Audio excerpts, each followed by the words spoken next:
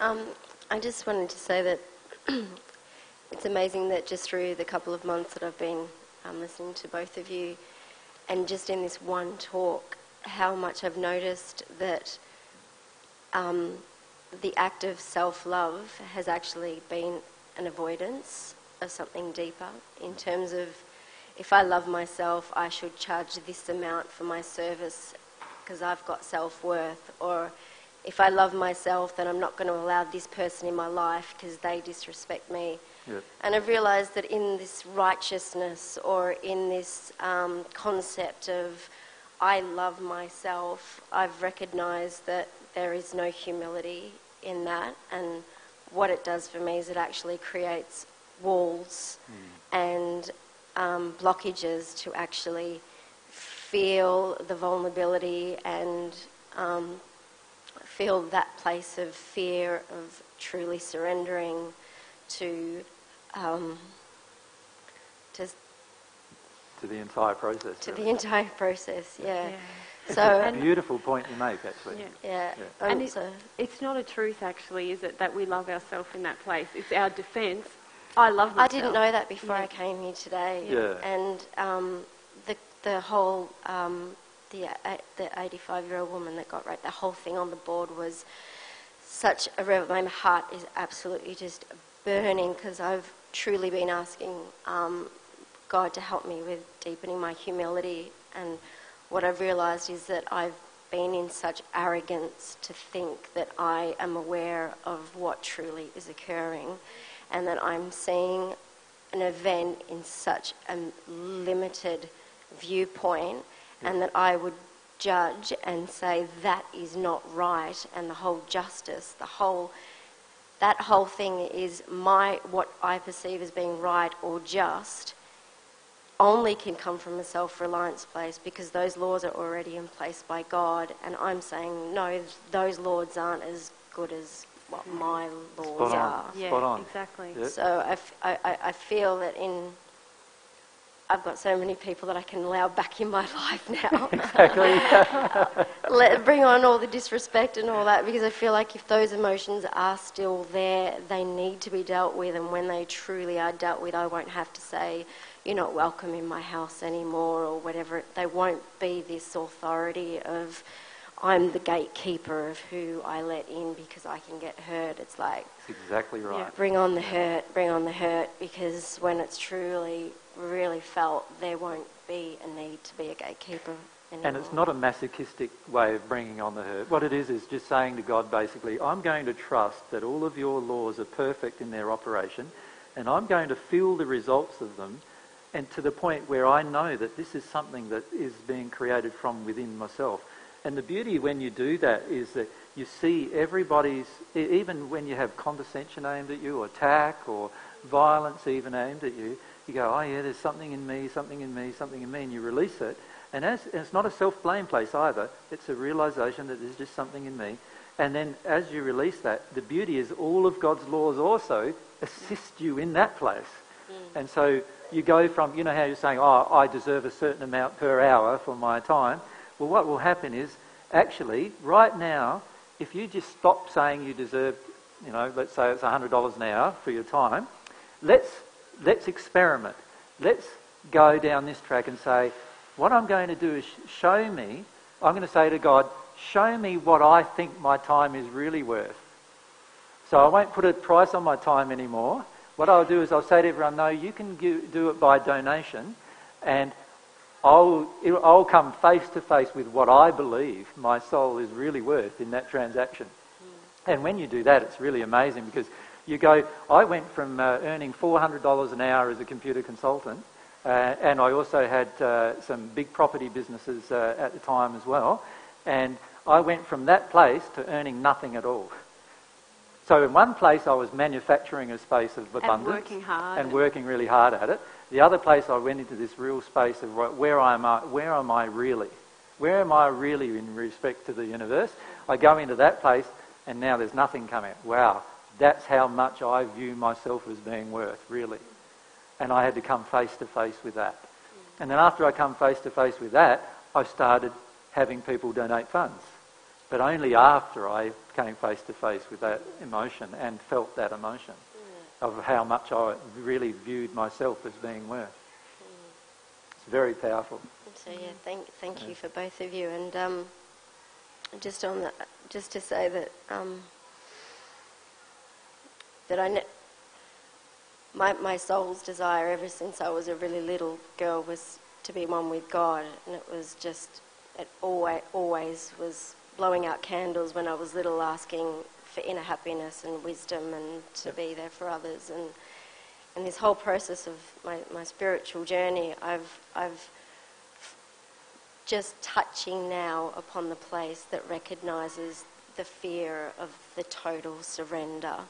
The one thing that I want more than anything is the one thing that I fear more than anything. And I used to always think that the conflict was, you know, oh, I'm always in this conflict, whereas now I don't feel it as a conflict in the mind. Now I just feel it as a burn. A bur- it, my heart just burns constantly. So I, I, I don't have all the uh, Yeah. it just my heart just burns. So I don't even know what's happening, but I just know that I'm on fire.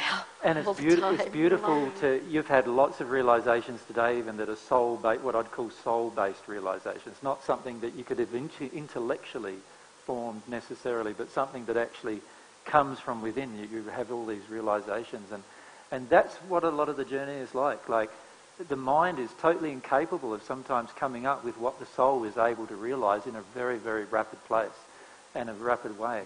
And that's the beauty of following things God's way, is we have this, we have this beauty of being able to grow so rapidly, and yet the majority of us are, addicted to having the mind tell us whether it's okay or not in the end. And, uh, and while we're in that place of addiction, we're avoiding this beautiful, rapid growth that can be occurring. Yeah. Um, I just um, have a question, um, and I'm not attacking you because that wouldn't be very nice. You can attack me even though. Um, and I'll probably cry because I cried everything.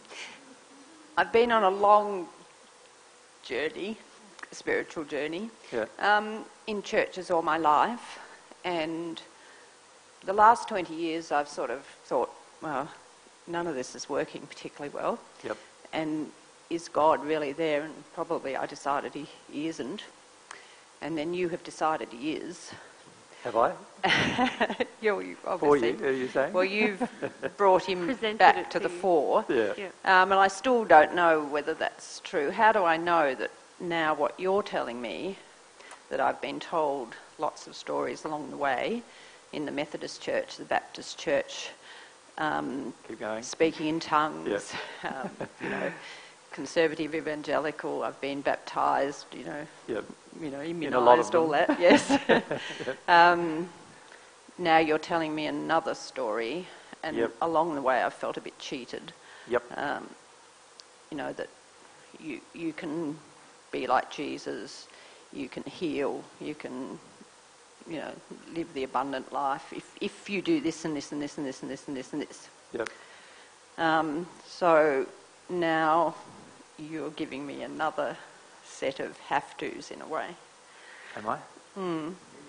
Yes, because now I have to feel my feelings fully. Uh, I don't, you don't have to though. No, I don't have to. No, I know. I realise that. But there is a feeling for you that God is conditional and that y- that comes from your childhood. Can you feel that? Can I, can I start though with your first emotion? Because there are a group of emotions in, in the question.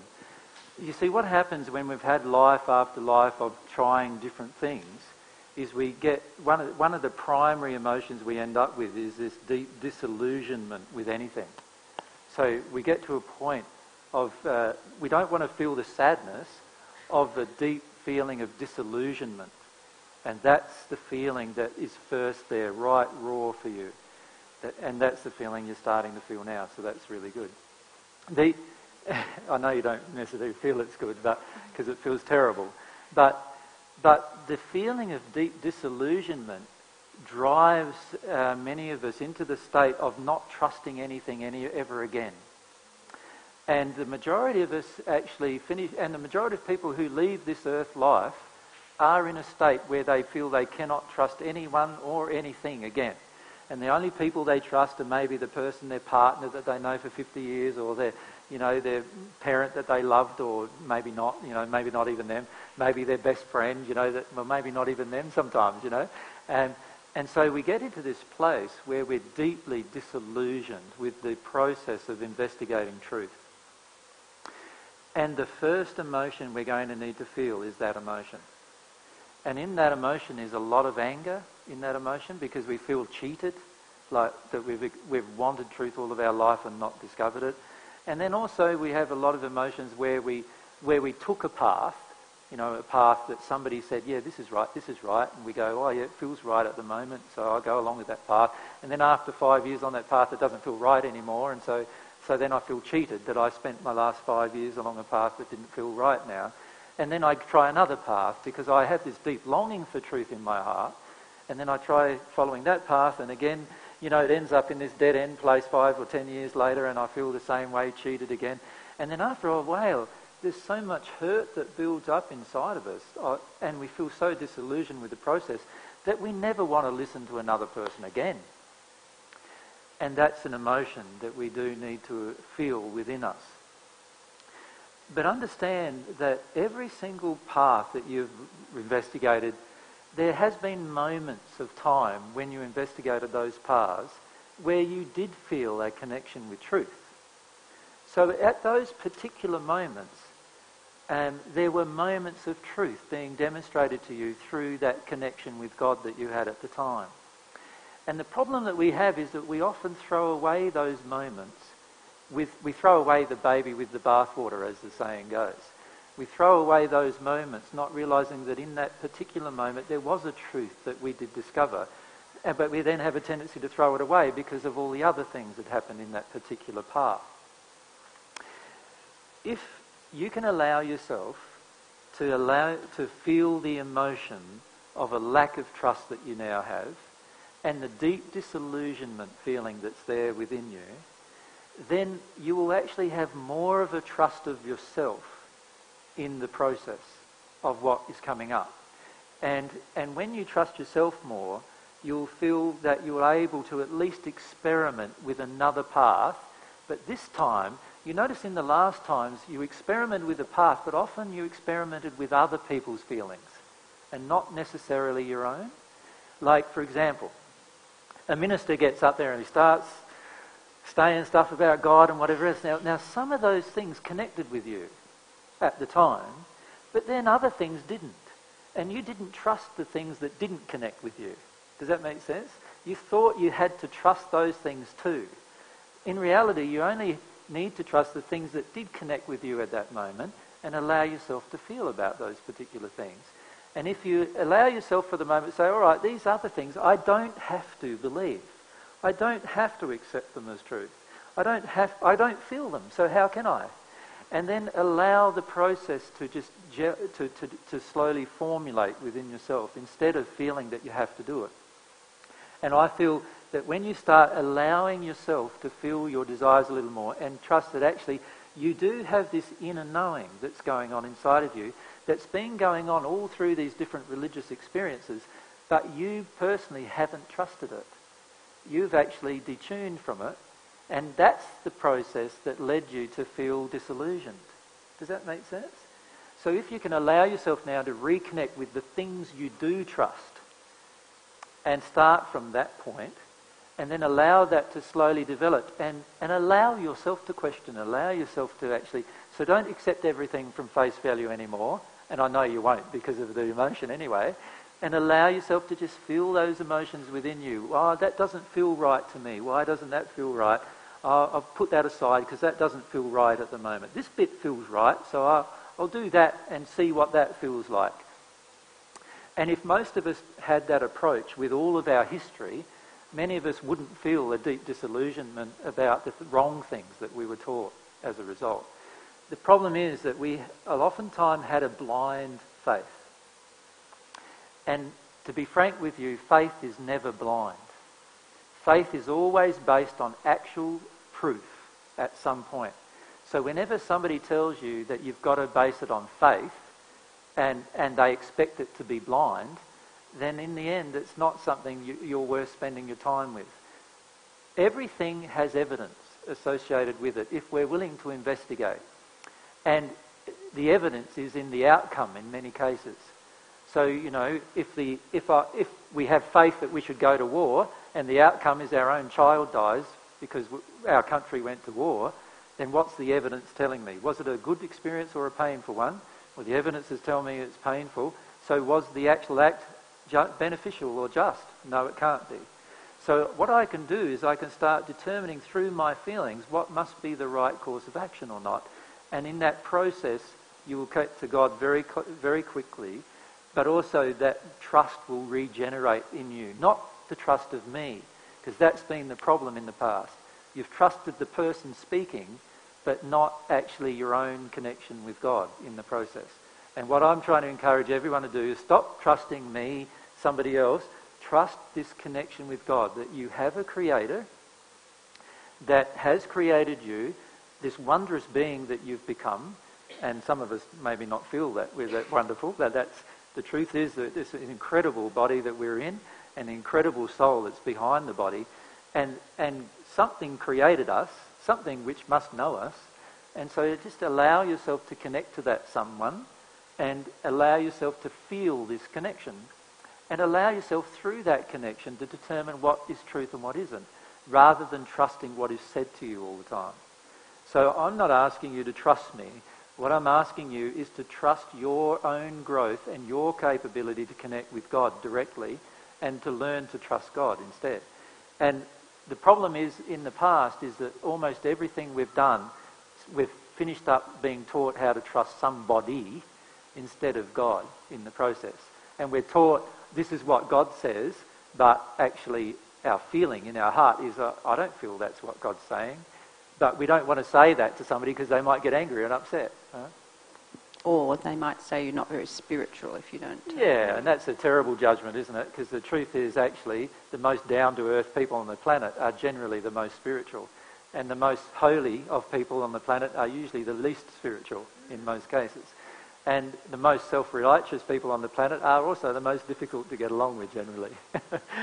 so, so the truth is that um, God is looking for real people. God wants you to be your real self. And, and God doesn't want a holiness about you. God wants you to feel your way through this process with her.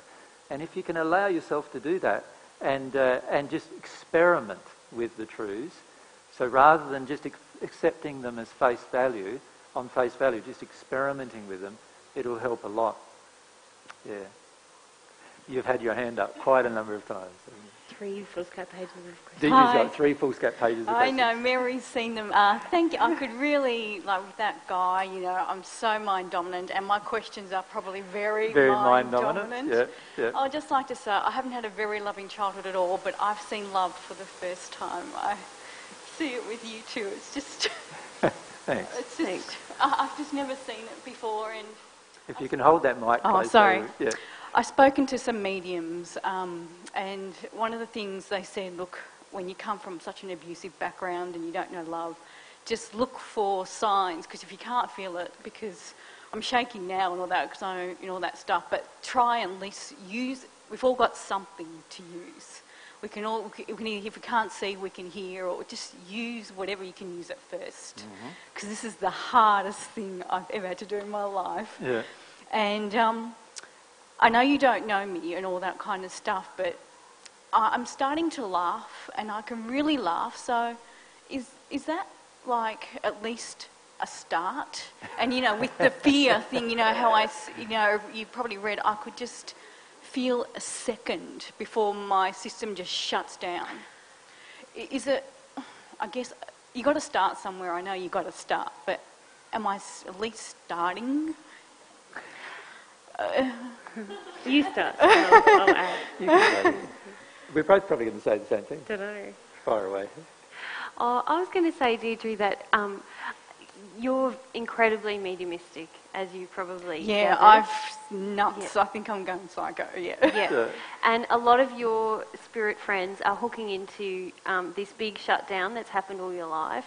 So sometimes when you're laughing, It's not you. It's it's them, and that's why you're not feeling Yeah, anything. that's It's why sometimes my, my questions is I feel like I'm on like a robot going through the motions, but Yeah. without the emotion. Yeah. Even with the crying, like like when I um, came back from Bodrum, like I had a very traumatic, and I know I emailed you about it, all that kind of stuff. Yeah. I asked my friends, and I like it, just prayed like. If I'm not getting law attraction events like that, at least give me videos or something. I had friends just recommend everything, and I was at least trying to cry because I've never cried before, like very little, because I was shut down so early. That you, that's still starting. Like, Can I suggest, though, rather than trying to cry, know that's failing with honour. Yeah. give up that for a moment and ask yourself why you find it difficult to cry. So, what are you afraid of crying? uh, being absolutely terrorised and thrown. When I was little, a baby, I can't even feel it. That's how shut down I am. My mum said when I cried, she threw me across the room at three months age. Like I can't even feel like someone said, "Well, how do you feel?" Like I can't even feel that. But I know I could have landed on my head and slept because I would have just been so terrified. And I remember even at six, like having a massive fall but not even crying. Yeah. So, so what we need to do is help firstly go through the layers, right? Yeah. And by the way, even though you believe yourself to be quite emotionally detuned, myself and Mary feel you to be quite an emotional person. Mm. So one of the messages you keep telling yourself is that I am not an emotional person, when in reality, you do have quite a lot of emotions that you are actually feeling. But, but the problem is that you've been told all your life that you're not an emotional person, and you've told yourself all your life, almost in pride sometimes, uh, in your past, and not so much now. And so it, now you've come to believe you're not an emotional person, and it's just a belief, and it's not even really a reality. Um, can some of you feel that she is, Deirdre is quite an emotional person? Like you can feel it from her. Really? Yeah. Right. Well, as you're talking. As you're talking, you, you, Oh, my heart's racing and all that kind of stuff. Yeah. Anyone can feel that. yeah, yeah, of course. And so you are demonstrating emotion. Oh, so that is emotion. Yes, that, that's an emotion. yeah. Oh, I, I just, I seriously don't.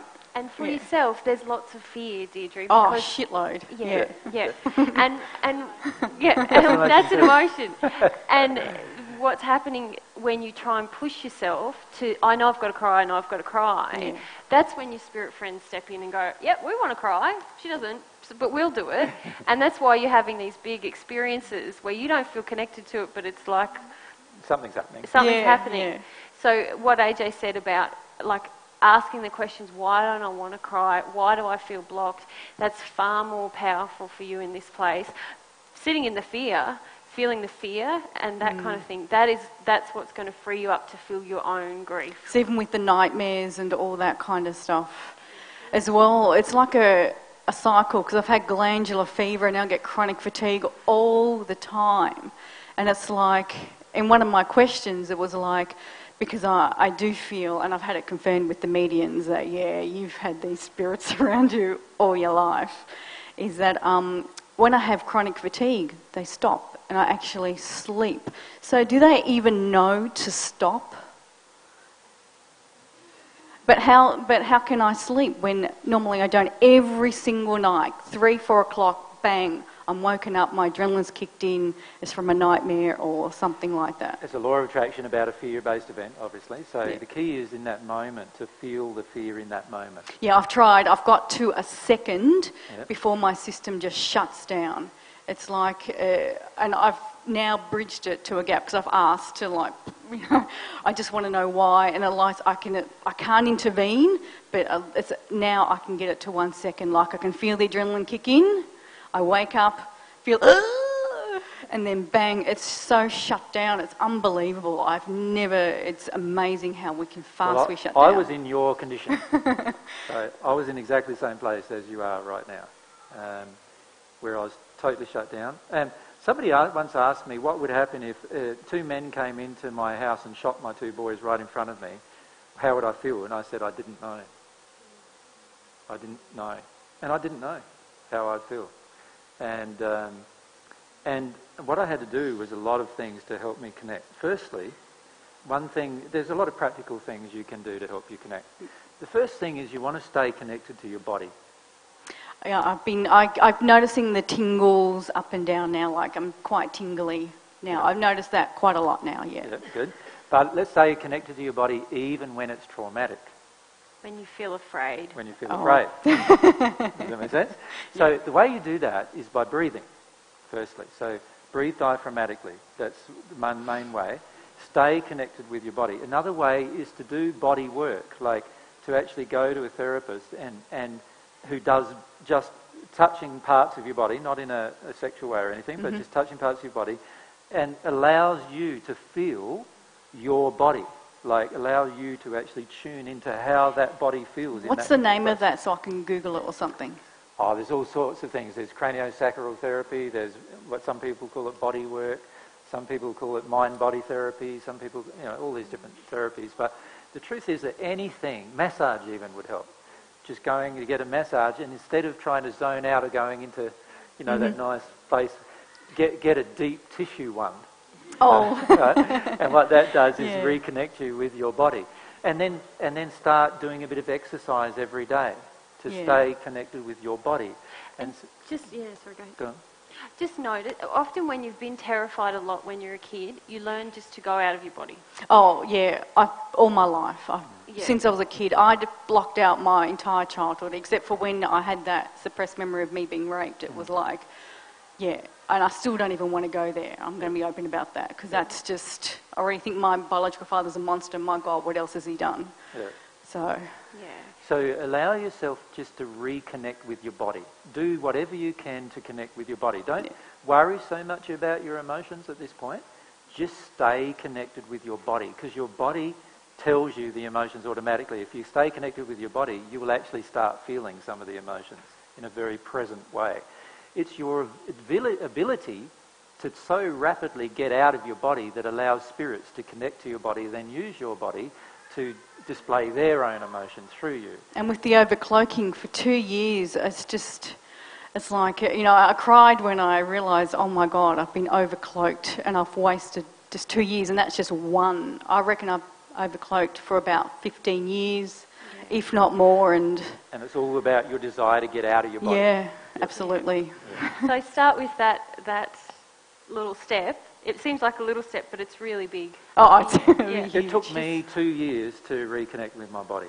Um, so I, I started that process 13 years ago and it took me two years. I did, I did it twice. I, did, I had massage or something else twice a week. Okay. Um, and the rest of the time, I would always be tuning in, asking myself, how does my body feel? How does my body feel? Every single day, I just started to jog. And when I jogged, I got asthma immediately. And I'd feel my body, feel my body. You know, feel what's this about? Fear, you know, repression, and all these kind of things. And I, I would just allow myself to feel my body. I decided that I'd do weights a few days a week as well. And, oh, you know, my muscles feel terrible. I feel achy. I can't have the strength. And I felt my body. And I just stayed in tune with my body constantly. And as I stayed in tune with my body and allowed myself to breathe, I started feeling emotion. Yeah, because I don't even breathe properly. It, it's very, very shallow. It's not even in my diaphragm. And even one of the mediumistic boys, you know, I'm not going to mention his name, but he said, just stop. Stop what you're doing. Yeah. and just because it's, Doesn't Yeah, work. it doesn't work. And like Mary's probably had less out of body than I probably have had. Um, I've had a, probably more extreme fear than Mary has had. So, so I've gone out of my body quite a lot, and it took me a long time to reconnect. Whereas for Mary, you did do it as well, didn't you? Like, Uh, With uh, more with people. Yeah. So when I was with people, I'd find I would be. what do you mean by that? I'd be out of my body when I was in social interactions. I'd be Oh, so very what she'd do is she'd feel your emotions Yeah. and just get hooked into and that. get hooked into that emotion and get out of her own body and out of her own emotion. Does that make Ah. sense? Whereas with me, I was out of body most of the time, like out of my own body most of the time. Um, and I had to reconnect, spend a lot of uh, time reconnecting with my body. Okay. Yeah. And I'm still not fully reconnected with my body, uh, ironically, but, but I've dealt with a lot of emotions. So when you do it, say exercise, I do an hour every day. Do you mean something a little bit more uh, ex- ex- assertive or something because I, I couldn't walk eight years ago. Yep. So um, Do something different every day if you can, because when you get into a rote uh, exercise, You can- you get out of body. you know what I mean? You can do yeah, it the- well, that, that's that's actually when I'm the most, I reckon, um, a- attacked by spirits because when I yeah. argue so, with myself. So do exercise that you have to concentrate with. oh, okay. So, so um, what I found Aerobics class where you have to think where about you've got to the think about the steps. Oh, Or, okay. um, uh, with me, it was weights. When you're pushing a weight that you can't hardly hold, you're really focused, right? Because you don't want to drop it on yourself, right? and so that causes you to be really focused on, oh, I've got to do this, and you don't think of anything else. Um, and do anything that you can to connect with it. Some people, it's dance, like connect with your body through dance and expression through, through dance. For other people, it's mu- music and dance, like connect through. But stay with your body. Whenever you notice yourself get out of body, stop. Why did I do that? What was I feeling? Because I've got a lot of fear because I couldn't walk eight years ago. I've got a lot of fear about re-injuring myself as well because most people might take it for granted, but I so don't take it for So do granted. exercise that you know can't injure yourself for walking. So aerobics, I'm thinking it might twist my pelvis again, So- but so don't do is it like Pilates okay and stuff like that? Yeah, Yeah, anything, anything. actually where if you do yoga or Pilates, just focus on connecting with, with your body. There's a lot of focus on breath, but Yeah. also going out of body in yoga, for example. But if you use it to tune into where does my body hurt, where is the stretching hurting me, what do I feel, that's a really powerful way to reconnect with your body. Yeah. Yep. And feel where you're holding different emotions in your body. Oh, yeah, I think they're everywhere. That's okay. You know, when we start, that's what it's like. You know, when I first started feeling my body, I thought, gee, I don't know whether how much I want to feel this body of mine because it feels like it hurts everywhere. I thought I was Yeah. the Yeah, like- fittest, healthiest person, and now I feel like a grandma most of the time. so my hip, my twisted pelvis, that's a, res- a really emotional, massive one, isn't it? Yeah. Yep. And the only way I'm going to heal that is to heal that emotion. Yep. Then I'll be able to walk Perfectly. perfectly. Yep. Yep. Okay. Your body is this beautiful process of healing itself when you heal the emotional cause as to why it's damaged. And all my food allergies, like all our all us kids, we're quite sick. My brother died. Like we're so sick. My liver, my kidneys, my hearts. There's problems out with my heart. So Yeah, and Deirdre, for you, there's a lot of emotions, but spirits are real because you're so mediumistic, you're so used to going out of your mm. body. That A lot of this is the spirit's emotions well. damaging your body. So Yeah. if you just start with the basics, I feel like a lot of things will clear up. so my naturopath is propping me up. So like still go to my naturopath. Do whatever it takes to love yourself. Always. Love Yeah. yourself always. So if you find what you'll need to do in the process is slowly switch over. So you'll need it'll take you time to do with Yeah, because I need still to be propped up because I've got so many injuries. Love yourself. Yeah, Yeah. learn to love yourself completely. That's also loving your emotions, by the way. Yeah. so allow yourself to love yourself completely, but also understand that a lot of your current uh, physical ailments are related to spirit attachments. So as you release the hook you have into these spirits, those attachments will disappear, and the ailment in your own body will also disappear. And and also talk uh, to God a lot about removing, like so pray a lot about removing these spirit attachments from yourself.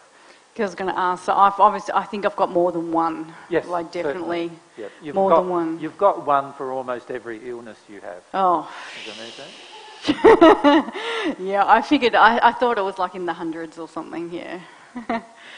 ah, great. We've well, all at least you've got to know where, got to know where your home base is to start, I guess. But the key again is to Yeah. not judge this.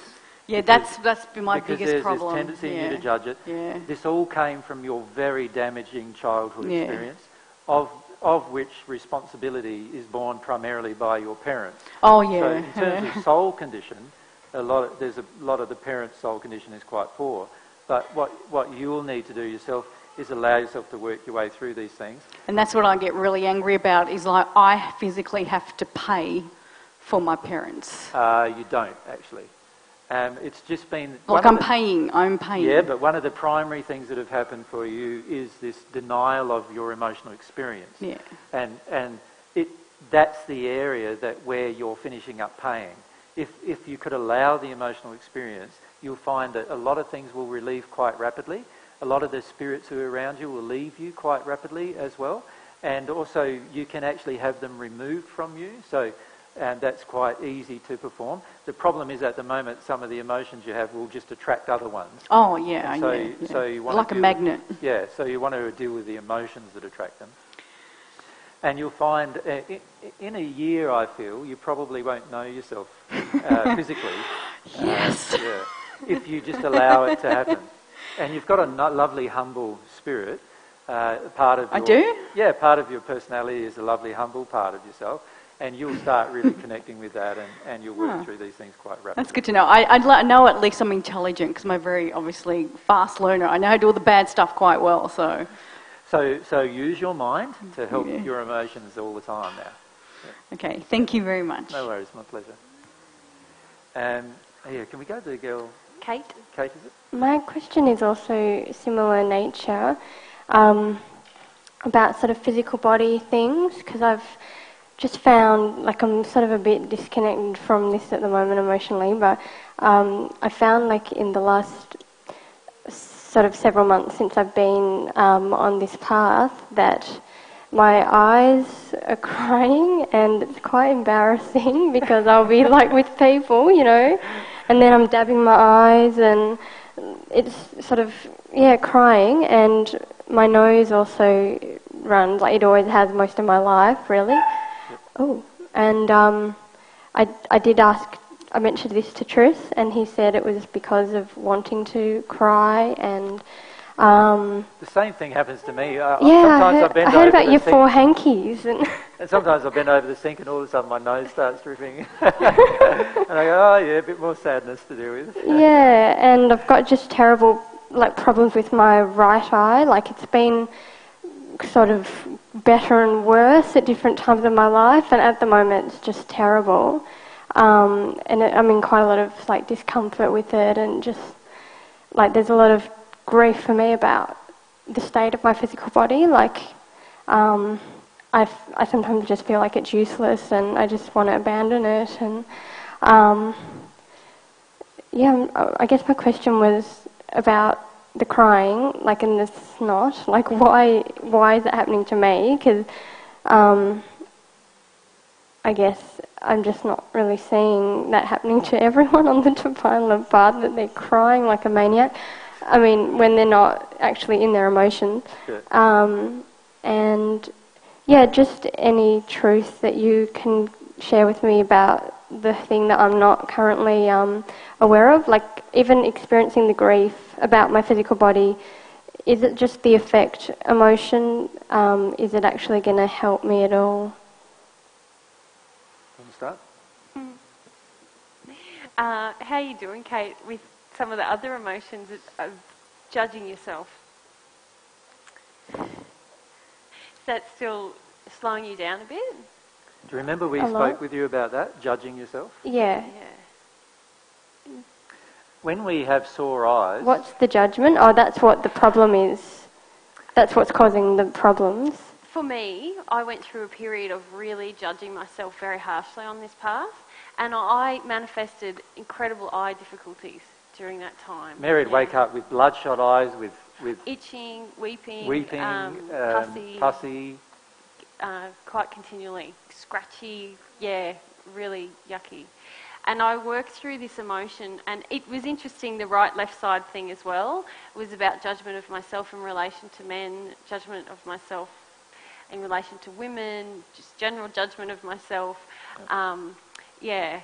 And I just recalled that last time we spoke, we spoke about uh, you judging yourself quite harshly and feeling like I've got to be doing better at this and, and yeah, constantly. yeah, yeah. yeah. So judging yourself isn't loving yourself. It's No. hard to not do it. Like that's my my emotion is the grief about.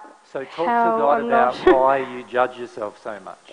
Is it an emotion of self-deception? Yes, the judgment. See, see how hard you are on yourself again. yeah. I know. I was having this conversation You're with Trish the other day, and he's like, "I can't." He's like, everything I said. He's like, "See, you just you just assumed that you were bad again. You just assumed that you were wrong again." And I I just don't even know you do really it automatically, yeah. that I'm doing it. I just don't want to offend or hurt or do the wrong thing. Yeah, and that is a lot of the underlying emotion under it, that you've been taught to be so in tune with other people's emotion that, that you get away from your own and you feel that whenever anything goes wrong, it must be your fault. But let's look at the eye-based thing. If, it's, if we look at it, it's judgment of self. If it's your right eye, then it's judgment of yourself in relation to the male. If it's your left, it's judgment of yourself in relation to the female generally. So, so if you have eye-based problems, and particularly right-based, you know that, oh, okay, whenever I'm with a man or near a man, I'm going to be judging myself as something wrong when I'm with the male. Now, whenever we judge ourselves, we're automatically out of harmony with loving ourselves. So there's an automatic sort of feeling in us that gets created that's out of harmony with love. The key, the first thing to do is to say, all right, I'm uh, out of harmony with love right now of loving myself. I don't need to punish myself further about it. Right? I need to learn how to love myself in this situation.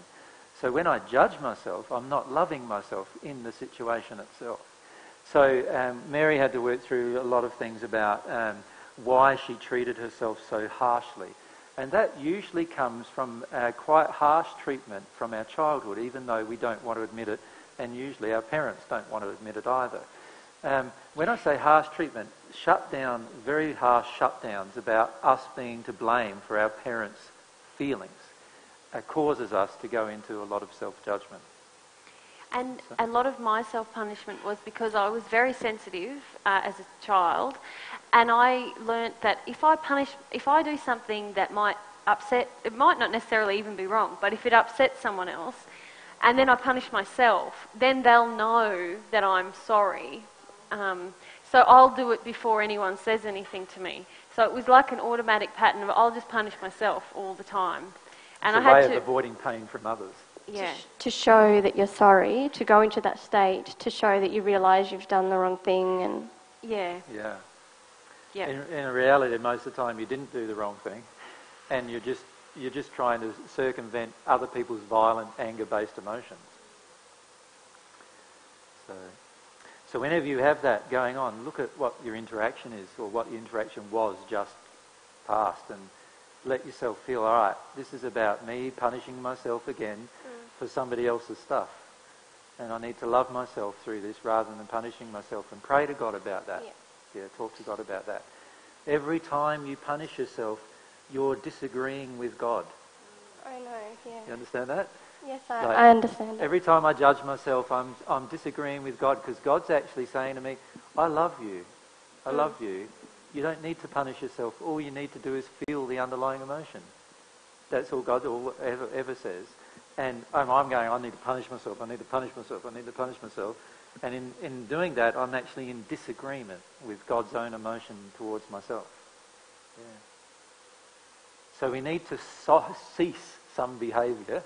We need to notice ourselves doing it, see it as an addiction, and stop doing it. So every time you notice yourself punishing yourself, stop.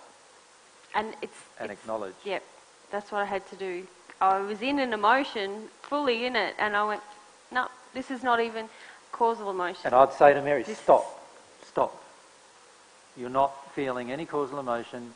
You're just punishing yourself, and you're hooking into a whole group of spirits who want to punish you as well. There's plenty of spirits in the spirit world who would like to hook into your self punishment and mm. punish you some more because that makes them feel nice and powerful and strong. So, you know, all we're doing is hooking into all of that as well when we punish ourselves. When if a person's with you, allow them to say to you, stop. Stop, stop punishing yourself. Do you feel that the emotion that I'm, the grief that I'm going through at the moment is that? Like it's not a causal emotion? We see a lot of our grief is actually results of us punishing ourselves. Do you understand? Like, so when I punish myself, I'm being unloving towards my own self. I'm going to cry about that as well at some point because of how unloving I'm being towards my own self. It's just the same if there's somebody else was unloving towards me. Like if, if I was unloving to you, you'd probably cry, right? Mm. If I was angry with you and punishing yourself and hit you, you'd probably cry, right? Yeah. So, so the truth is that while you're doing it to yourself, you're also probably going to cry about that too. Is that why I'm crying a lot about feeling unloved by myself? Or okay. It's just punishment of yourself. Okay. I just don't know how to move into I guess I could I can pray about it. Like certainly, just keep praying. Um, Pray, Kate, pray about say- loving about loving yourself. Yeah, and can I say, you're actually a really beautiful person, thanks, Mary. really stunningly beautiful, and to let that in will re- to let what I just said to you in would trigger some causal emotion. It's what you resist quite a lot. Okay. Yeah. The love from other people. You, you are far more wonderful than you, at the moment, believe yourself to be. Yeah. Even now, right now. Yeah, I think it's blocking a lot of my connection with God, like because my f- view of myself is so sort of Can you just stop for a moment? yes. You never even heard me say what I just said. okay. I have to You're go so on the blocked- DVD. You're so blocked to a loving statement being made about you. Um, I La- guess I saw it as something wrong, something else that I'm doing wrong. No, no, yeah, that's right. You bring up something else you do wrong. Let's just stop for a moment. A male just told you that you're a beautiful woman. Here. Not just here, here. Just sit with that for a moment. Does that make sense? Let, let yourself feel that enter you.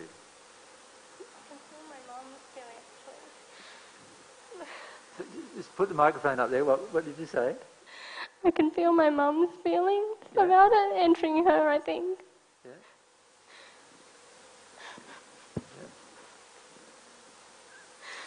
So just just the process of me asking you to stop causes you to feel something, and and myself and Mary want to both say to you the same thing, and that is that you're just such a beautiful person already. You don't need to be this hard on yourself. Now there is some causal emotion in your childhood that causes you to be hard on yourself, but that's okay. You can deal with all of that if you can at least see that you're a wonderful person right now without even changing. You don't, you don't need to change to be a wonderful person. You're already that. We, we love you, Kate. Yeah. I just really want to progress. I know, but you see, that's where your judgment starts. Like, you, you see, you, you, you basically what you're doing is you've got this internal comparison system happening. But I'm not as good as I could be. And Kate, nor am I. right? I'm not as good as I could be either, you know? And probably most people in the room feel that not as good as they could be either, right? But, but if you keep saying, like you get to a new place and you're better than you were and you keep saying, oh, but I'm still not as good as I could be, right?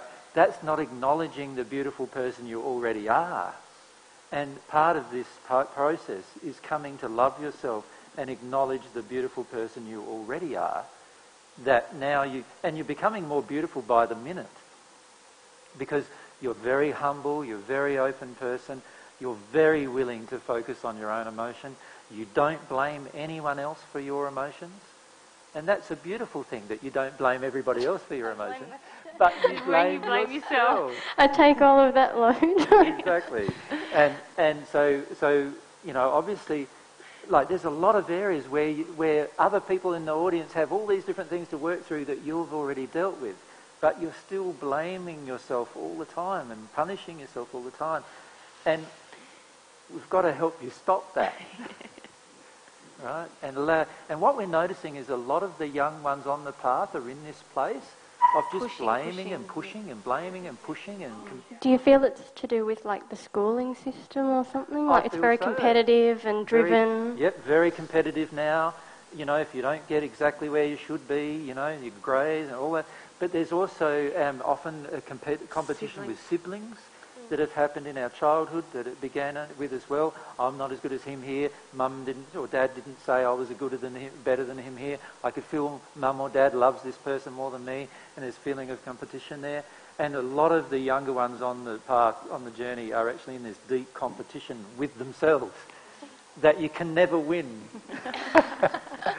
because you'll only ever be as good as you are right now at any moment. So, you know, in an, in an hour's time you'd have dealt with another emotion and you'll be better than you are right now. But, but why are you saying, but I want to be perfect, I want to be perfect? And that comes from something in your childhood where, you know, you were told or felt that you had to be perfect. And you don't have to be perfect for God to love you. You just have to be real. Right? And you will feel God's love enter you as you are real. Right? And in the process of that, God's love will perfect you. So, so you're at, at the moment relying on yourself to perfect you. Do, do you see that? While you're so focused on your own punishment of yourself, you're basically telling yourself that it's all your fault you're not perfect. And you're not relying on God's love to perfect you. Does that make sense? If you just allow the process to uh, uh, happen a lot more um, naturally, you'll find that actually God's love will perfect you. And you won't have to struggle to become perfect. God's love will automatically create this perfect creature by you just allowing every event at the moment that it occurs. But the self-punishment prevents that place. Does that make sense? Okay. Yeah. Is there anything that you've recorded, Mary, that you could recommend to me to listen to about this? Uh, there's the talk on emotions of self-deception. Have Oh, you yeah. listened to that? Yeah, yeah. Um, But don't punish yourself about being Oh, a I just- because you're doing it again I just right want to be able to move forward. Like, 'cause I guess I can just pray about it. yeah. And Kate, there, there is going to be a time when, in your processing, you will have to acknowledge that mum and dad weren't perfect, and there were times in your childhood where you felt let down or you felt unloved.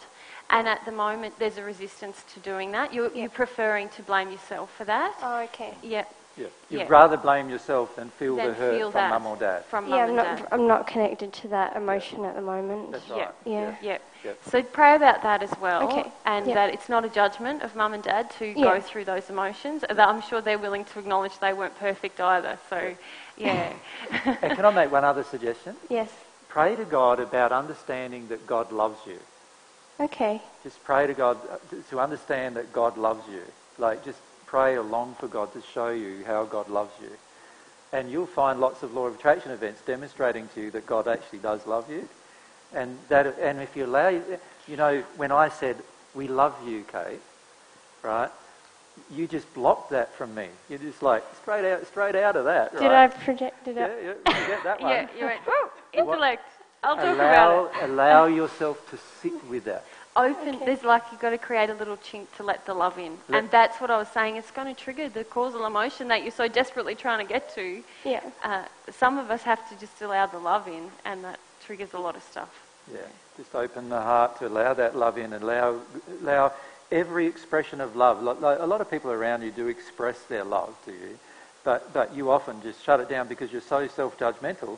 You're there, you're there saying, no, you can't love me because I'm not perfect yet. You know, like, mm. no, you can't love me because I'm not perfect yet. You know, no, you can't do that. You know, and and it, and you do it in a way that just like somebody says they love you, and yeah, that went past there somewhere out there. You know, it never hits you.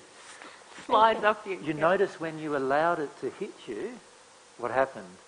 Oh, it's quite full on. Like I feel very emotional. Exactly. yeah. And that's all you need to do. Allow Okay. God's love to hit you. Oh, okay. Yes. And the love from people around you. Yeah. Okay. Yeah. Thank you, guys. And who hasn't had a chance to ask a question? Anybody who wants to ask a question who hasn't had a chance? This, does this guy? No? Um, Phil hasn't asked a question. Uh, uh, there it is. Oh, sorry, I'll, I'll sit down so nobody will see. Is it on? Yes. I grew up in the church and learnt a lot about Jesus Yep. and what he did Yep. and how he fitted in. And there was the Trinity, and Yep. we haven't mentioned the Holy Spirit. Yep. Um, I grew up with verses that said, you know, for all of sin comes short of the glory of God, but the gift of God is, uh, is you know, eternal life through Jesus Christ our Lord. You leave yourself out of the, the communication with God. Um, Good, hey. There's so much that is different. What can or what is in the Bible that is true? Because just about everything you have said is different. Well, can I explain what is true? Yes. Okay. Um, and obviously, you know, there are heaps of things in the Bible that are true. I'll just do some video. I'm listening and I'll hear the video. so that Phil can see the answers. Let me turn that around. Oh, Okay. Now, there is such a thing, Phil, as the Holy Spirit. Um, but it's not a person. You were taught uh, in a Christian church that it's a person and that there were three persons in the Godhead. There was God the Father, who I called when I was on earth my Father. There was God the Son, who everyone calls me. And then there was God the Holy Spirit. Well, the truth is, the only part of the Godhead is God herself. God the Father, as you would, uh, would term it. So here's God. So I'll draw God like that, with masculine and feminine qualities. God has this gift that she wishes, and I'll use the term she in your case because that's going to confront the father issue. And God has a gift that she wishes to give you. Now, she created a mechanism by which your soul, which I'll draw your half of the soul, can receive this love. So your soul can actually long for this love to enter. And you've had times in your life where you've actually received it, by the way, as well, where this love has actually entered you. The process of longing creates a magnetic, you could think of it, like a magnetic attraction between you and God. The process of you longing for God's love to enter you draws God's Holy Spirit to you. God's Holy Spirit is like a conduit, like a pipe that connects God's soul directly with your soul. The spirits in the spirit world actually see it as a pipe of energy that flows into you and brightens your body. Now, those spirits who see it are the brighter spirits who can actually, who've actually received some of the love themselves. The darker spirits who haven't experienced it, they actually see it as your body brightening for a short period of time while you're longing for love. Now, when you long for love, you're removing this cap over the top of your soul between yourself and God. The process of longing actually opens your soul up to whatever you're longing for. And if you're longing to receive God's love, then what you do is you, the process of longing, the desire for God's love to enter you, opens your soul up ready to receive that love. And as a, re- as a result, the Holy Spirit connects to your soul. And it connects, and the love flows through like flowing through a pipe into your soul. And you feel it. And you'll feel it, and often when you feel it, you'll be overwhelmed with emotion. Right? And so many people cry while they're actually feeling this overwhelming emotion. Now, the Holy Spirit um, will remain connected with you while you stay in a state of emotional truth. The moment you get out of a place of emotional truth with God is the moment the Holy Spirit can no longer connect to your soul, and therefore the love can no longer flow. And when you get back into emotional truth, the Holy Spirit can reconnect and away the flow goes again. And you will find through your own progression that this Holy Spirit will ebb and flow. Now, I talked about the Holy Spirit all the time in the first century, all the time. And its power and the, the, the desire of truth and how that connects. So you'll notice in the Bible even there are many quotations uh, about truth that I've stated, about staying in a state of truth, the truth setting you free and so forth. And, and I also talked on many occasions about the Holy Spirit. And I used to talk about the soul as well. And, in fact, what I used to do is liken it to things. So you remember there was an illustration in the Bible about the soul being likened to a water bag, and and you can't put or a wine bag, and you can't put uh, new wine into an old wine skin because as the new wine fermented, what would happen is it would expand, and an old wineskin is so crusty and old and couldn't expand with it, and the wineskin would break, right? And so that's what I liken the soul. The soul, as it receives divine love, expanded the soul. And if and if you weren't prepared to be like that new wineskin and expand with it, then basically you would prevent the love from staying within you. And I gave a lot of illustrations like that all the way through that are recorded all the way through the Bible. A lot of them have been severely distorted since uh, as a result of time, but you can see the underlying principle that God has her love there ready to give to you. You needed to stay in a state of truth to, re- to connect with the Holy Spirit and the love can flow through. Now, the only time when I involved myself in the discussion was when people would talk to me about, like, how do I know this is true? And I know I would say to them, well, I have experienced this place of becoming at one with God. And I used to talk to them about being the only person on earth at that moment who was actually God's child in this way. Because by, the time, by this stage, I'd become at one with God, and then, so therefore understood the, the whole uh, feeling and emotion involved in becoming at one with God and being in that state. And so I called myself purposefully God's son, and I also called myself the Messiah, as is well quoted in the Bible as well, because I recognized that the Messiah would have the role of being the messenger of truth, God's truth, to the world. That would be the role of the Messiah, which was the role I finished up taking up through my desire. Now, now, that is a role that I still have, but in terms of your own progression, it's a very unimportant role because all you need to do is listen to the truth, and the truth will set you free. Not me. I can't set you free. That, that's what I'm trying to work out what the truth is. Mm-hmm. Uh, just, I want to get at, I don't want to hog this. You're allowed couple- to hog for a while. A couple of things, I mean, you were aware that you were going to be crucified, were you not? Yes. Why did you let it happen? What purpose? If it, I mean, the, the Christian view is that it was very, very important to save the world. You're saying that's not true. I mean, that's the crux of the gospel. So you're saying that that didn't happen. Why No, put yourself the- through it? The, the crux of my gospel, if we could call it that in the first century, was the teaching that the only way the world was going to change was for people's soul to change. And for people to receive divine love and get into this state of at one with God, then the world can change rapidly. That was the crux of my teaching in the first century. I told people that they could become at one with God without me dying. I didn't have to die to do it, for them to do it. I told them, quite frankly, that actually, that um, if I did die, um, that was immaterial to their own progression. The truth is that what happened was Christianity, through the desire to control, has taken a lot of my sayings and turned them into this other place, turned them in, into this thing of control, the priest controlling the masses.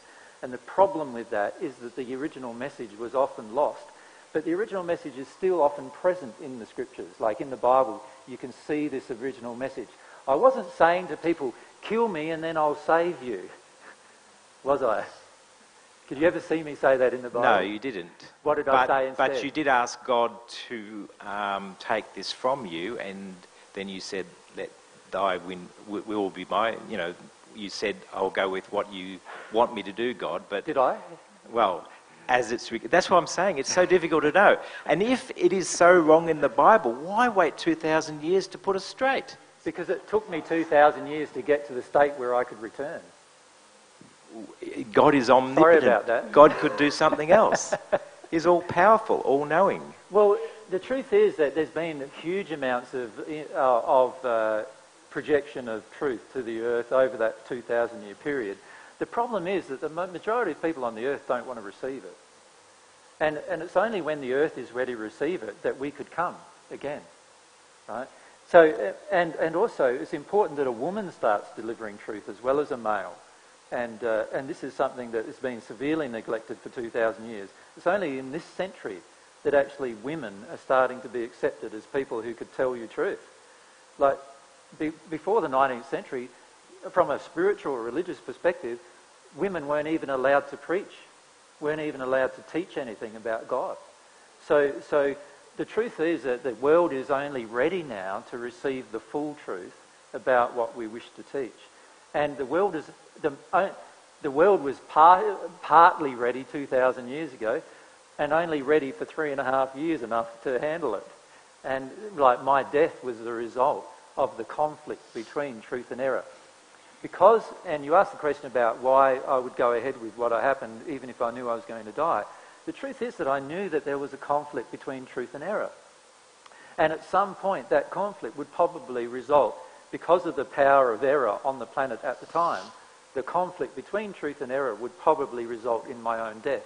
When I met Mary, I told her that that was the case and that if she didn't want to be with me, I actually understood because there was a high potentiality of my passing. And there were quite a number of attempts in my li- on my life that weren't recorded in the Bible, where it was quite obvious that people, the powers that be, if we call them that, uh, wished to destroy this truth uh, before its inception. So, so the, the truth is that there are truths in the Bible, certainly. The problem is, is that there has been so much modification of the Bible over the period of 2,000 years since that truth was delivered. And on top of that, many of the things written in the Bible weren't directly written from my experiences, but were written from the memories of people who were with me at the time, and, and then translated verbally down through generations until there was some copying process, which only occurred over the last few hundred years, really. The, the issue is that there's so much room for distortion.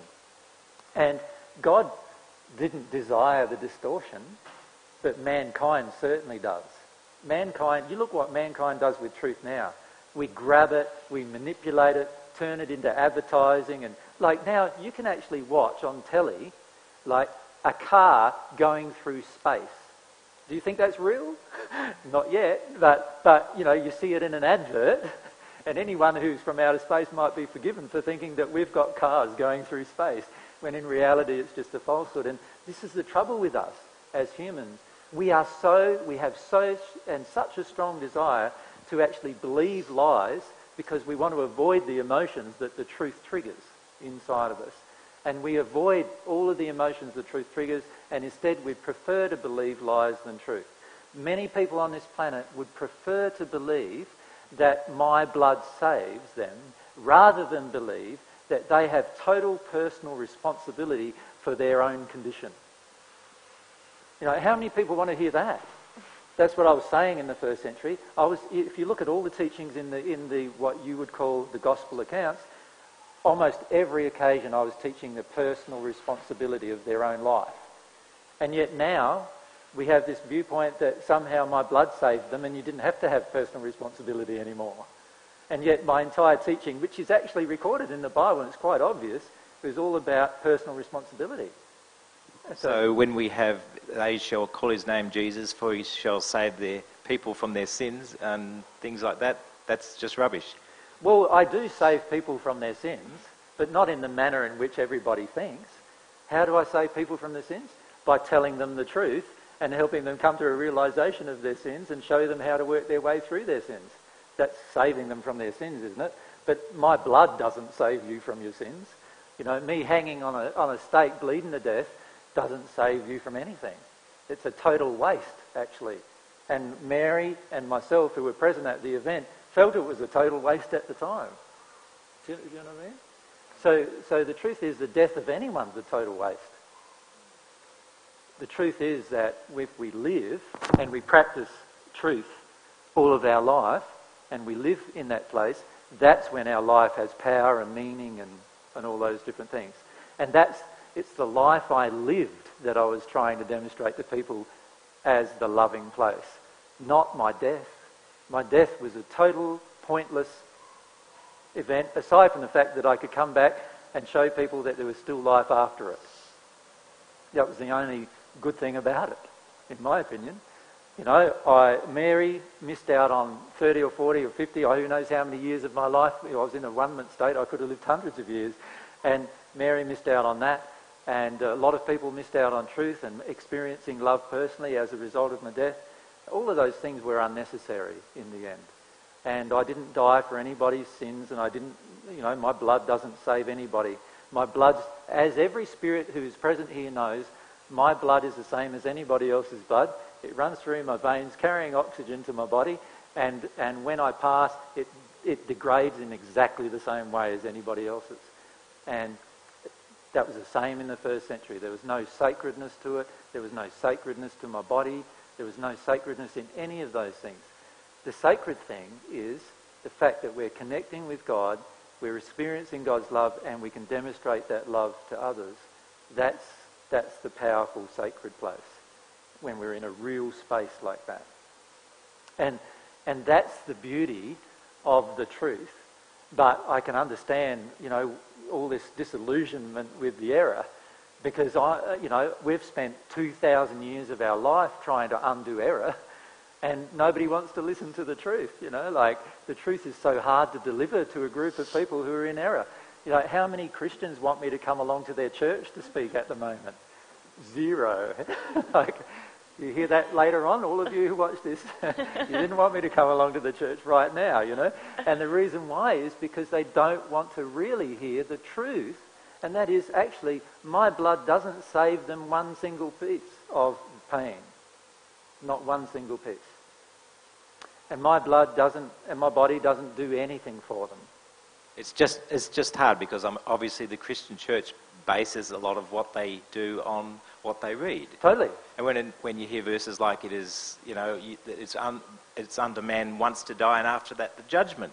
I mean, it's very plain what the Of course. Bible is saying. Of course. And you're saying, no, no, no, you go through 23 layers and all sorts of horrible things, and it's a process where the Bible Oh, says things it's a gift things. of God, you know, not of works. Mm-hmm. And you're saying it is almost of works that you're working your way up. So, as I said, everything I hear is like You're not, completely not and I'm your thinking, way I'm, up, I'm quite confused. You're not working your way out though. You're actually feeling more and more of God's love, which automatically lifts you up. That's the beauty of love. Love lifts you from a dark place into a lighter place. You think about your love in your relationships. What does it do for you? It lifts you from despondency, despair, and all of those emotions and draws you into a new place. And that's what God's love does to you. And all I'm talking about is how you receive it. And how you receive it is by, t- by remaining totally open emotionally to receive it. That's how you receive it. So yes, you do have to stay open emotionally to receiving love to receive it. And, but that, that love, as you receive it, will lift you up like a, like a, somebody pulling on a rope, drawing you to them. And that's what really God is doing to you, is drawing you to her. The, the issue we face, though, from a religious perspective, is we have all of these false beliefs about God that play on our mind and play in our heart. And as a result of that, cause us to think, oh, but he's saying this, but that's contrary to that, and he's saying this, and that's contrary to that. But let's look at it logically. Does it make any sense to you that my blood saves your sins? How does my, how does my blood save your sins? Well, it made sense because if God made a law, for instance, my son was driving my car one time and got booked for speeding, but I took the speeding fine. And that's how I felt it was. And was that loving to you? That God did love us so much that he sacrificed not just anybody, but his own, the closest thing to him, that we would be, be able to be one with God. That was, But, it, but The- God, sense God that it designed made. the entire universe, does it make sense that God designed a law that would require God to sacrifice? No, it, he made the law and we chose to ignore uh, with the Adam and Eve thing. But you thing. just said that God created a law. Well, he, he, yes, he made the law.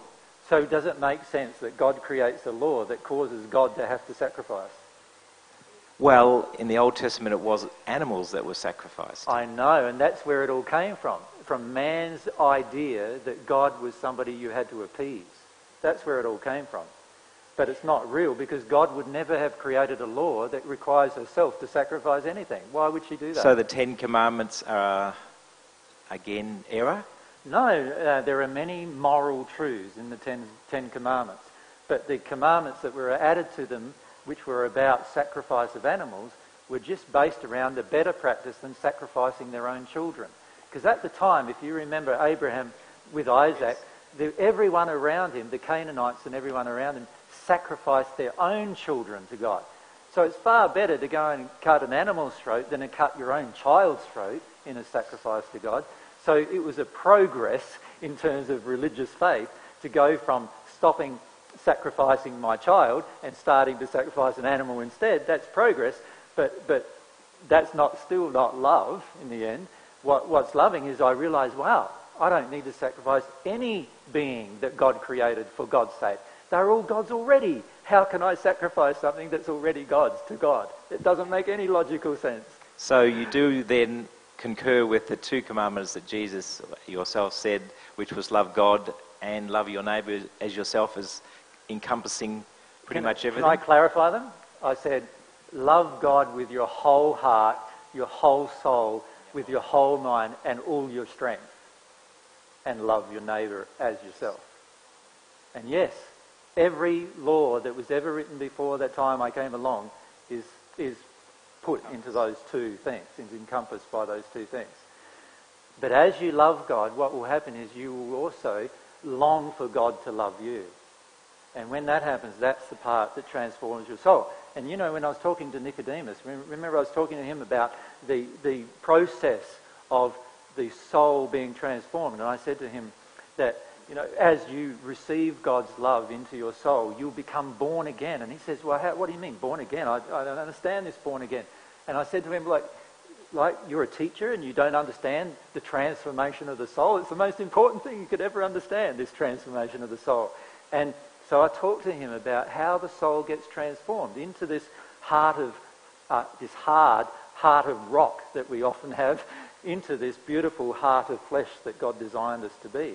And that process is the process of receiving divine love into the soul. And I discussed that with him. But unfortunately, all the other writers that come along looked at that and said, oh, that sounds a bit stupid. Got to change that, you know oh, that sounds a bit stupid. Let's put in instead of that, oh, you know, about Jesus' blood saving and all that. And, you know, oh, that bit sounds a bit stupid. I don't understand that. And what they did was change everything they thought I was saying that was stupid into what they thought was more wise to say.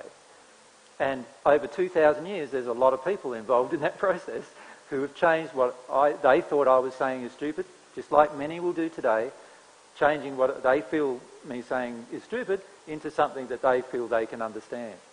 And that's a natural part of the human psyche, unfortunately.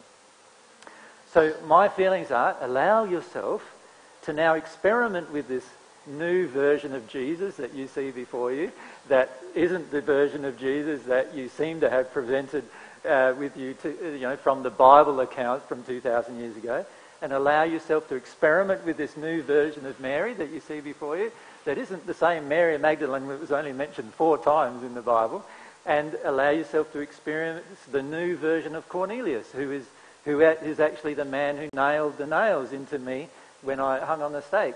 And allow yourself to experience him in this new form and just allow yourself to hear the teachings and allow yourself to reflect upon those teachings and see whether they don't resonate with yourself and resonate with your soul. The truth is, if we allow that to occur, what will happen is we'll start seeing very clearly, wow, that teaching that the Bible says there, when I feel about that, wow, that's pretty unloving. Like, would a God of love create this system that, I'm, uh, that I've believed and accepted for years and years, and, and mankind's believed and accepted since 300 AD, like for 1700 or so years? Man's accepted all of these false beliefs, but that doesn't make them real, does it? No, it doesn't. Just because, just because we've accepted them, it doesn't mean they're real. It just means we've accepted them as real. It just makes it hard because, again, and I'll, uh, this, I'll give the microphone straight away to somebody else. But yeah, it, it, just my comment, return comment. It is difficult to again read any parts of the Bible because you've got to go through this big process of is this right, is this, and not is this right? I could be wrong? in error is, with is that. Is this loving? Is this not? All that. So that only one question you need to ask yourself at any one point in time is this loving? Is this not? That's all. And if you ask yourself that question, you will be able to determine truth very rapidly. Very rapidly. In almost everything that's ever presented to you, if you can ask yourself, is this loving? Is this not? And let that resonate with you, you'll, you'll work through truth so rapidly that you'll be surprised two years later wow, I've learned so much truth and I don't understand why it took me 50 years to, to, to, to get to the point where I'm ready to learn this two years with. Hi, AJ. How you doing? Do you think a Akashic record exists? So can you see past life? Um, the so-called Akashic record does exist, but let's look at, if you want to really look at what's happening, do yeah. you want me to describe what's happening? Yes. This is what's happening. You are a soul of half of one with your spirit body and your material body. The spirits who talk about the Akashic record, so here they are up here, males and females who are talking about the Akashic record, they can't see your soul. They can't see it at all. Right? And because these are sixth sphere spirits on the natural love path, generally, or lower, they actually only can feel what's happening. Now, with your law of attraction, there are other spirits connected to you, right? They could be males or females connected to you. But all of these people will see, and these people, anywhere up to six, cannot see a spirit in the seventh sphere to the 22nd dimension. They can't see any of them. All they can do is feel, and feel the Akashic record, as you call it. So when they do, what they do is they look at the person and they go, wow, yeah, this person's had a past life. But actually what they're feeling is this spirit who's with the person who they can't see. Right? And then they say, oh, but they also had a past life as a male. Yeah, what they're feeling is this spirit with the person who they can't see. Right? And then they feel a lot of their lives as well as a result. So, so while all these records are available, if you're in a lower dimension of the spirit world, you can't feel all of it accurately. You can only see what you know to be true at the moment. And the problem is, for most people, is that they are so embroidered that that's the truth that they can't realise that there's actually like 14 more dimensions above that place that I can't see. And I'm making huge amounts of assumptions. And this is what I asked earlier when I said to the spirits who, who said, Oh, I think we're in the sixth sphere. And I said, Is that really where you are? let's ask a spirit from a higher sphere to tell you where you are. And oh, it's the fourth sphere or third sphere or whatever. Because a lot of times the spirits themselves want to believe themselves to be in a different place than they really are. And they want to believe that there's this thing called the Akashic Record, which is actually just your soul. Your soul is stored within every experience you've ever had. And your soul attracts other people's souls to you. And every one of those souls merge together in terms of if I'm looking at what's going on and I can't see it, I can't see it with eyes, all I can do is feel what's happening and then I assume these spirits are going to just feel what's happening and assume that you had these past lives. Because those spirits want to believe in past lives. That's what they want. They want to believe in that. So that's what they will assume. And then they'll talk to a medium, and the medium's down here, she's sitting down, talking to you, saying, oh, yeah, you've had a past life as da da da da da. And the spirit here is going, no, no, no, no, it's not a past life, it's me. I'm a person. I'm a real person, right? I'm a real person who's with this person guiding them or helping them through their life, and this person can't see it because of the belief in past lives. So what I'm saying to you is that there are a lot of other more logical explanations than reincarnation for people's experiences with so-called past lives far more very logical explanations. The problem is, as people on earth, we don't want to believe what's most logical, do we? Yeah, we, we, like, we like the improbable because we, we want to avoid the logical. For example, how improbable is it that my blood saves you? It's pretty improbable. Well, one and a half billion people on this planet believe it. So, how logical is that?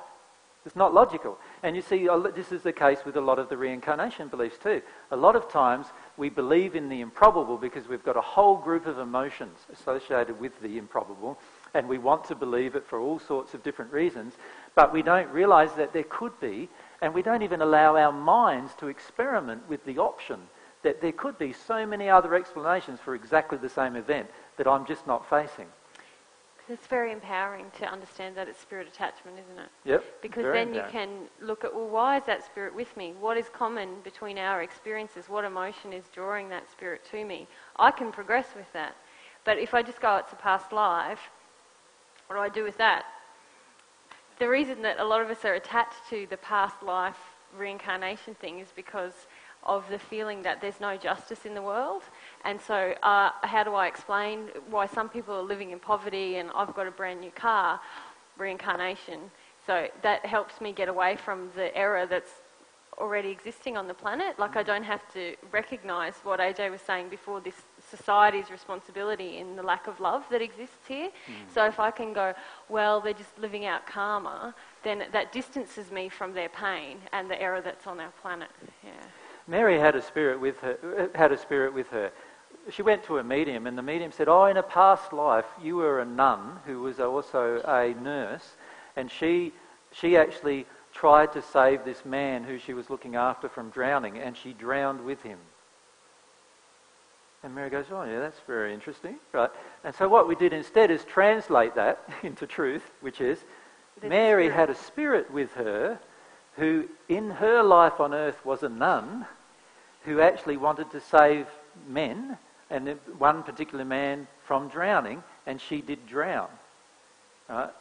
And when Mary sort of looked at it that way, she could start seeing, oh, I can feel a lot of law of attraction here. I can feel what this is all about. Wanting to stop the man from dying, wanting to save the man from dying, you know, all this kind of things.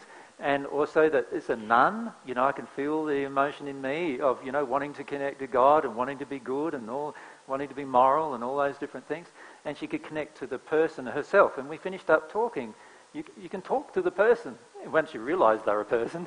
You can't very much talk to the person with, when, when you're going, oh, it's just a past life, Mary, I'll talk to you about it, when in reality it's a person with Mary that I can speak with and discuss this whole event about and help her progress as well as Mary deal with her attraction about it.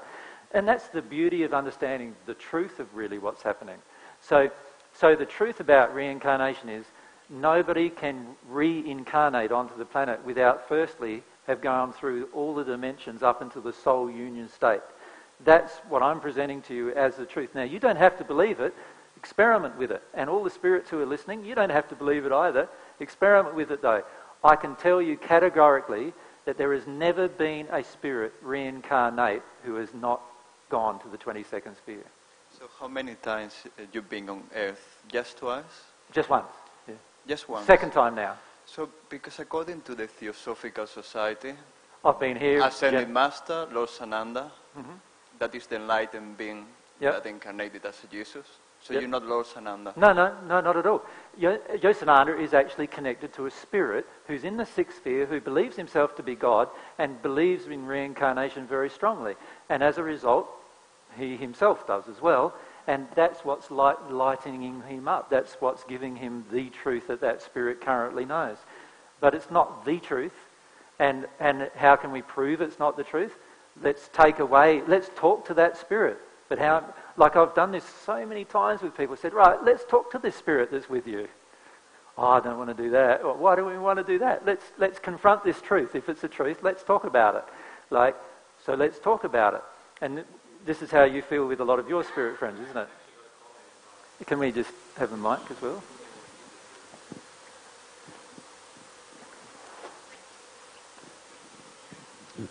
He's saying that this is um, an admission that they've never made, but the Akashic record, it's a reward. It's a falsified reward. So it's a, a gift in error. Yeah. And that's what you actually seek. So they easily give you that as a gift, but you seek that in order to suppress. Yeah. So and they play on that. So Yeah. So a lot of times these spirits have all of a set of beliefs that they want to retain for their own emotional reasons and for their own satisfaction, and then they transmit those beliefs to whomever they can on earth so that you accept those beliefs in exactly the same way you've accepted any other false belief that's ever happened, and then they can connect with you through this belief system. My suggestion is forget about doing all of that and connect with God. Connect with God. Try, experiment connecting with God in the manner that I've described and allow yourself to work through that connection because as you do, you'll realize what's going on everywhere. Everywhere around you. Spirit interaction, who's with you, who's not with you, why, why they're there, why they're not there, who am I expecting, everything. You'll know everything through the connection with God. You're not going to know everything with the connection with a six sphere spirit because a six sphere spirit has a very, very limited amount of truth available to them that's only available to their mind and they haven't even developed their soul yet. And as a result of that, what, oh, when I say haven't developed their soul, they develop their soul in morals and in natural love, but not in divine love yet. And as a result, they don't know all the truth of the universe. They can't because the, their own mind is incapable of even understanding the truth of the soul. And that's the thing is that if I need to experiment with that, and that's why I'm encouraging the six sphere spirits, experiment with that, experiment with that, encouraging you on earth, experiment with that. But there are answers to all of the questions you can ask about what's actually going on, but they're often not the answer we want to hear. And the problem we have on the earth today is that we often don't want to hear things that trigger us emotionally. What we want to do is have something that helps us to uh, avoid an emotion. And we want to hear that one. So when somebody comes along and tells us sweet nothings in the ear, you know, oh, you're so beautiful.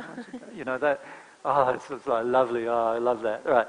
I and then, and they say, you. they say, oh, do you realise that you've got a really bad emotion of shame about sexual... You don't want to hear that one, do you? That's like, it's like you know, no, I don't want to hear that, right? And this is what we're like. We don't want to hear truth that emotionally we feel emotionally hurts us. And if we allow ourselves to hear that truth, we can expand greatly. And that's where God's leading us. God wants us to be real all the time. And, uh, and this stuff that happens is just people wanting to maintain a fiction in order to have their belief sets maintained so they don't have to deal with an emotion.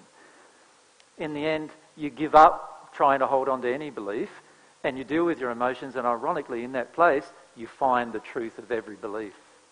That's the beauty of the divine path. The path but the path that God created for you. Yeah. Every other path man creates for you, and it's all flawed in some way. Yeah. Can we have the mic? Uh, Yeah. I just wanted to ask when when can when do we connect this like the divine love spirits like because we're so much in error. When you have a real know? longing inside of yourself for God's Okay. love, Yep. you automatically draw divine love spirits to you. Now, during that phase, you're obviously flicking in and out of trying to avoid emotions, trying to connect, trying to avoid, and so you'll connect with all different types of spirits.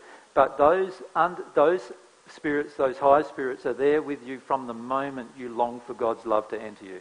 And if you choose at some point in the future to stop longing for God's love, those spirits will probably, after a period of time of trying to encourage you to long for it again, they'll probably leave you for a while until you get back to longing for it. So it's a dynamic process. It's not something that's fixed in concrete. It's dynamic. So I long for love. I'm going to get- help to receive that love. As soon as I stop longing for that love, then then obviously the other spirits who want me to do other things will come in and they'll affect me. It just depends on what's happening at any moment. So can they speak to you? Like are you able to hear them like other spirits? Yes, but they prefer communication soul to soul. Yep. So, so a divine love spirit is totally capable of automatic writing through you, of talking into your ear, you know, your spirit body's ear, and all of those kind of things so that you hear them. But they prefer an interaction that is soul to soul, that has less error in it. Um, Can you hear from God as well? um, you can't you? hear a voice from God. No? No, God only communicates soul to soul, soul to soul, all the time, never anything else. If you're hearing words, thinking it's God, it ain't God. Right? It's a spirit claiming to be God, which many of them do, by the way. Almost every spirit in the sixth sphere claim to be God. Right? So if there's billions of spirits in the sixth sphere, they all think they're God. Yeah. From their perspective, they see it like, I'm a part of God, you're a part of God, so we're all God. That's how they see it. Actually, they're not yet even a part of God because they're yet to receive divine love in their soul. So, so there's um, the part of God that expands their soul hasn't even entered them yet. So they're just at the highest possible place they can attain with their own development. That's all. Yep. Yep. And that's not a bad place, by the way. It's a beautiful place. You'd be very happy living there, right? Most, most of us would. Uh, hey, this has really been great. I've really enjoyed this. It's good, mate. But um, I, here's a funny little question, but I know there's others in here who suffer similar things. Mm-hmm. And it's not a big suffering. Well, it is to me. Mm-hmm. But I get very blocked sinuses and a pain in my left eye. This goes on every day, every day when I wake. I've been ear, nose and throat, been to doctors, done all those things, you know, shoved a bit of garlic up my nose and in my ears and everything. And it doesn't work. It's And I- amazing what we'll do, isn't no, it? but, but I have, I can't exactly tell you how I feel this, but I feel, AJ, like there may be some sort of psychological or spiritual connection with this because in, I'll, cer- I'll say to you, there definitely is. Emotion. well, in certain situations, if I'm in the right company, this, this is bizarre, but I find my nose and my eye clear. Yep. And, and I have no idea why that is. Can you lead me up any paths that would help me process my nasal cavities? Awesome question. Yep. Do you want to help him, Dave? I think you're closer to the answer than you think, Mike. What's your intuition about it? If you were to imagine there Who are was the a- people you're with? Imagine it would be a breathing issue. Um, yeah, that's No. physical. So let's go for the soul-based thing that you were going for before. The soul, the emotional. The emotion. Um, so when you're with certain people, when your nose, nose all clears up, what kind of people are they? ex- yeah. So when, when, Oh Lord of the nose. do, Um, do- does it, do you clear up when you're with Phil? uh, I don't. I can't remember really. Probably, yeah. Probably I would. Uh, if I had to put a um, sort of a, an emotion with it, Mm-hmm. it would probably be grief, Spot on. Exactly. Any nasal problem? which I'm feeling now. So why don't you shut up? I will. No, no. I'm perfectly happy Sorry, to, go with your with your free will. you're, you're dead right. It is grief. It's a suppression of grief. The key is to look at the the, uh, the people you're with when you're feeling it.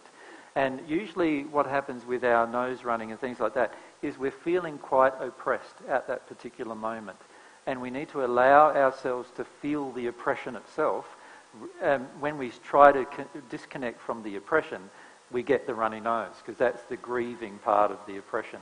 So it is grief, but Very it's very much a nighttime thing. yep. So there's something related to night in the process as well, like uh, Sadness. yeah. So yeah, there is grief, and the fact that your left eye is affected primarily means it is primarily about women. But it's causally something in your childhood So it's probably related to your mum. at night time. So, so where would you suggest, seeing as Can we have the mic because otherwise it won't get recorded. where would you suggest that I began processing that? Um, well, the first thing to do is start noticing when you get the runny nose and eye and pressure in the eye and who you're with. It's severe. It's not runny. That's too light It's, on. It's, it's pressure blocked. it's pressure blocked and left eye pain. Yep. So write down who you're with and blame all of them. No, no, no, no. write down who you're with when you're feeling that. Does that make sense? And then the next time, write down who you're with when you're feeling that. And you'll see a pattern in who you're with. So the next thing to go is, all right, what emotions do I feel when I'm with these people? What, do I, what am I feeling from them, really? And so instead of, so feel the oppression that you feel in your nose and behind your eye, but allow yourself now to go into the grief, like the grief type feeling that is present there underneath that, Yeah. and allow yourself, why, why do I feel grief when I'm with these people? Like, what's the relationship between that? And then allow yourself to feel that, like not intellectualize too much, but feel it. It's more a case of 90% of the time, but then it may be that when I'm with you, it disappears for the time I'm with you, and then it would come back. Yeah, yep. Mike, So- I feel that you were so close to this emotion. Like, you already started feeling it when you talked about it. So there's just a little resistance to connecting to it. Mm-hmm. So you wouldn't even have to, you could sit with yourself and even pray about it and go, what is the grief from my childhood that I don't want to feel? And you'll soon And you'll know what it is. Yeah. It's just that you're a bit afraid to And cry. you're very, you've got some guides who are pretty connected to the divine love path. They know how to feel emotion. Yeah. And, and they'll be able to help you through the process of finding out what it is quite easily too. And you're quite connected with them. Just about this issue, you're a little bit afraid to cry about this issue. Otherwise, you would have cried about it. Yeah, yeah. We've got to have the mic because we want to No, hear I, Mike. I, I don't know what that issue w- could be if I, I, you know, I mean, I've done a lot of sort of, we want to call it inner work and getting in touch with that and releasing a lot of emotion and done a lot of crying. Um, a lot of, a lot of even beyond crying. Yeah. Um, But um, uh, what we find, and a talk I'll be giving shortly, is about mothers. Because what we find is a lot of our emotions that we avoid are actually about mothers. And there's very, very good reasons for that, why we avoid emotions about mothers. Mothers are sort of like the sacred land that you never go onto to deal with an emotion about. And there's very strong reasons why that's the case. And, and what we'll do is give a talk about that. And this is all related to emotion that you're trying to shut down about the mother, about the woman. all right, thanks. And it, it could be, Mike, that dealing with this emotion may affect your relationship with your wife, and so there's a bit of fear about uh, maybe confronting just an aspect of your relationship that you haven't gone to before, and that's why it's remained undealt with. Quite often we're afraid to confront emotions that may affect the relationship because we're afraid the other person won't change with us. And in reality, often our, our, our fears are unfounded a lot of the time, but, but, um, but we often feel them from our childhood as well. And so, like for instance, if we had a resistive mother, we're often then project that resistance onto our wife, even though our wife's not resistive. Do you know what I mean? And we often then cause eh, we, we, when we try to resolve an issue with our wife, we often think she's going to react like our mother. In reality, she might be very different to our mother, um, but we project that emotion onto her. We have that belief inside of ourselves because we haven't released it that we then project onto the relationship. Yeah. All right, I, I'm now tired. so, so we'll have to finish now. And for those of you um, who want to come back tomorrow night, we'll make it 7 o'clock, uh, hopefully a bit uh, less formal, and uh, maybe a bit more spirit interaction might occur tomorrow night. We'll just see who's present and what questions they wish to ask. But it's been lovely meeting uh, all of you, and you've been so open as an audience, and the others that have left, if you know them, please let them know that as well. And myself and Mary have enjoyed speaking with you quite a lot. Yeah, thanks.